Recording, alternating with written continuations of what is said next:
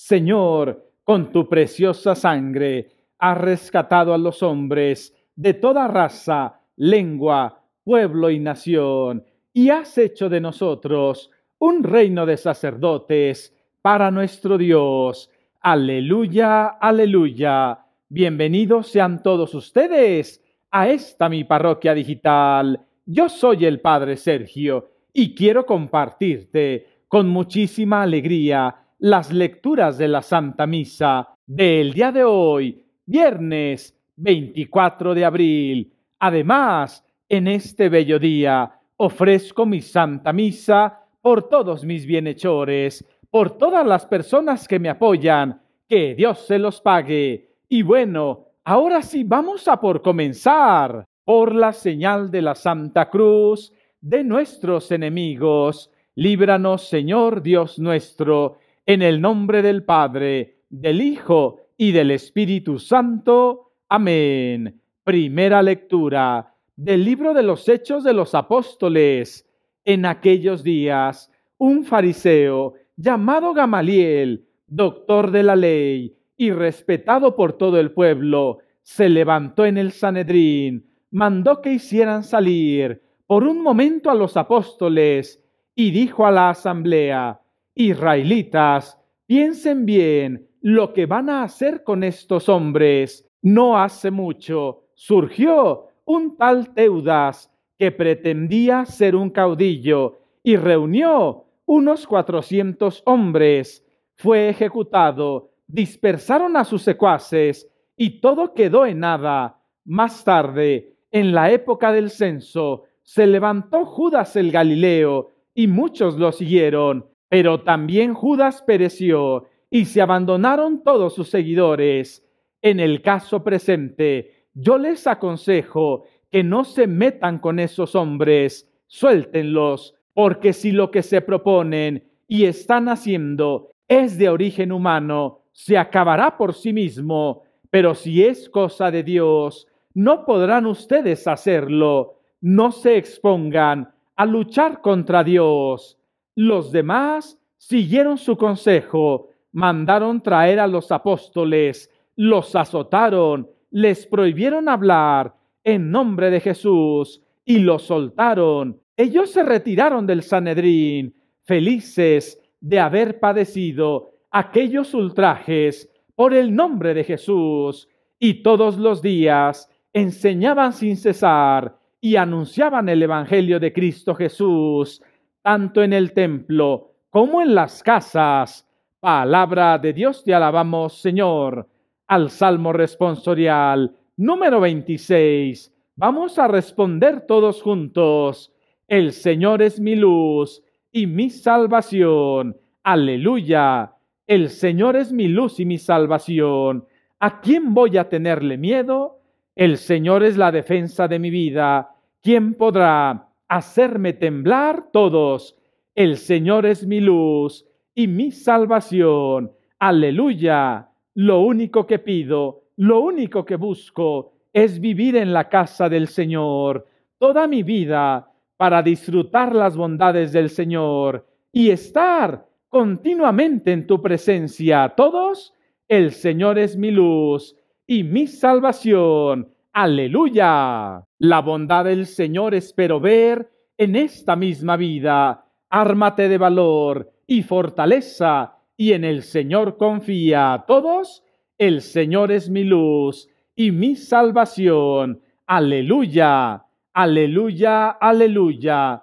No solo de pan vive el hombre, sino también de toda palabra que sale de la boca de Dios. Aleluya, aleluya. Que el Señor esté con ustedes. Proclamación del Santo Evangelio según San Juan. En aquel tiempo Jesús se fue a la otra orilla del mar de Galilea o lago de Tiberiades. Lo seguía mucha gente porque habían visto los signos que hacía curando a los enfermos. Jesús subió al monte y se sentó allí con sus discípulos. Estaba cerca la Pascua, festividad de los judíos, y viendo Jesús que mucha gente lo seguía, le dijo a Felipe, ¿cómo compraremos pan para que coman estos? Le hizo esta pregunta para ponerlo a prueba, pues él bien sabía lo que iba a hacer. Felipe le respondió, ni doscientos denarios de pan bastarían para que a cada uno le tocara un pedazo de pan. Otro de los discípulos, Andrés, el hermano de Simón Pedro, le dijo, aquí hay un muchacho que trae cinco panes de cebada y dos pescaditos. ¿Pero qué es eso para tanta gente? Jesús le respondió, díganle a la gente que se siente. En aquel lugar había mucha hierba. Todos pues se sentaron allí, y tan solo los hombres eran unos cinco mil.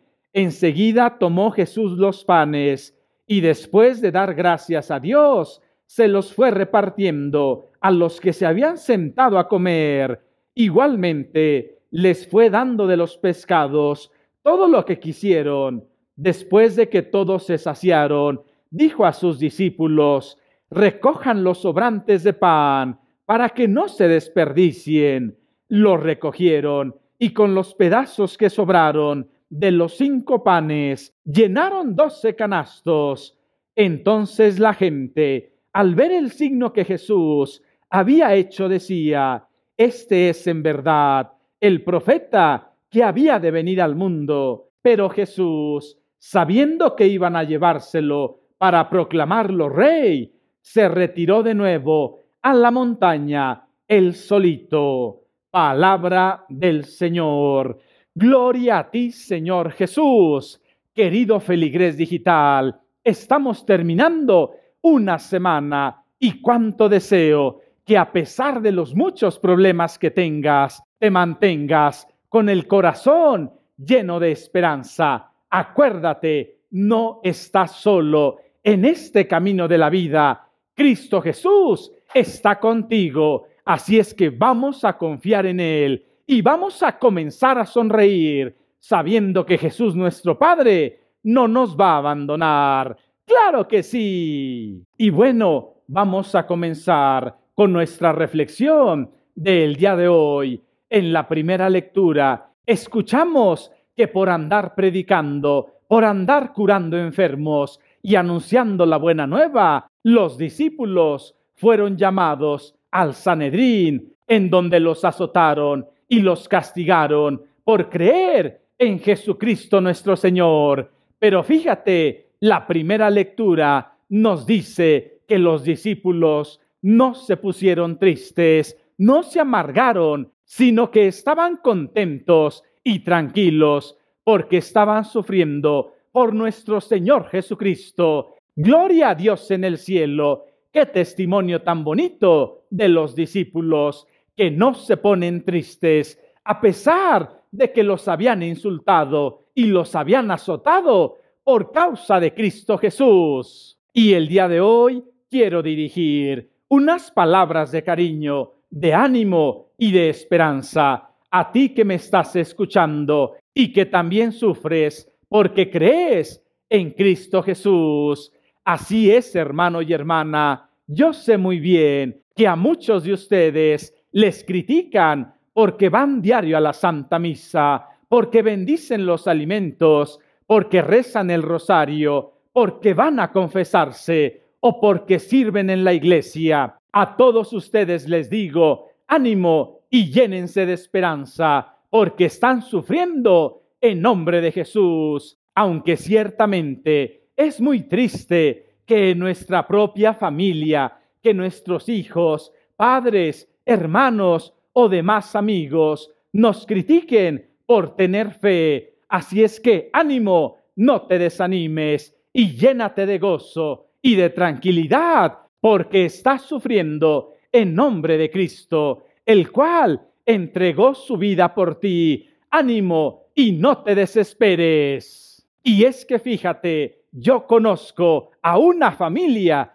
cuyos hijos son muy inteligentes. Todos ellos trabajan en la universidad dando clases. Incluso uno de ellos es dueño de una clínica. Pues bueno, te voy a contar, a nivel humano, ellos son muy exitosos, pero todos están muy lejos de Jesús. Todavía me acuerdo, en una ocasión, ya eran como las nueve de la noche, porque habíamos tenido la Santa Misa y después la hora santa. Y entonces me quedé platicando con este matrimonio. Y entonces ellos me dijeron, Padre, nos despedimos, porque ahora nuestro hijo ha venido a recogernos. Y entonces yo les dije, claro, no pasa nada, permítanme acompañarlos.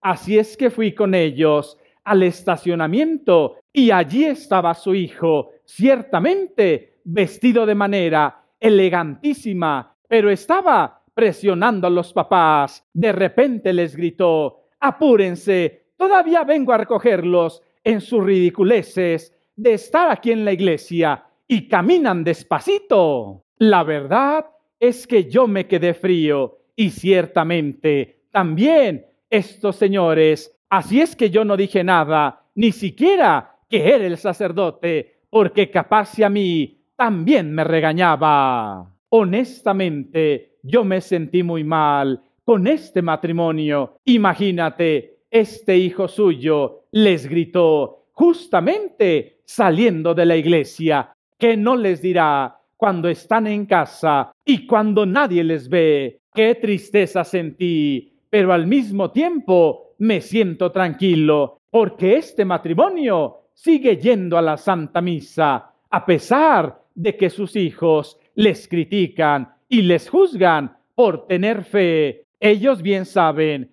que lo hacen por Jesucristo nuestro Señor y eso es increíble. Así es que tú también, hermanito y hermanita, por favor, no te sientas triste por sufrir, no te sientas triste por alabar a Jesucristo nuestro Señor y ser criticado. Antes bien, llénate de alegría porque estás compartiendo los sufrimientos de Cristo nuestro Señor. Claro que sí. Y ahora permíteme darte la bendición que el Señor esté contigo. La bendición de Dios Todopoderoso, Padre, Hijo y Espíritu Santo, descienda y permanezca siempre contigo, con tu familia y en el mundo entero. Yo soy el Padre Sergio y esta es mi parroquia digital. Te mando un abrazo enorme, que el Señor te bendizca y por favor, si puedes,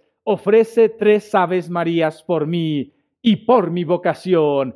Que Dios te lo pague y nos vemos el día de mañana.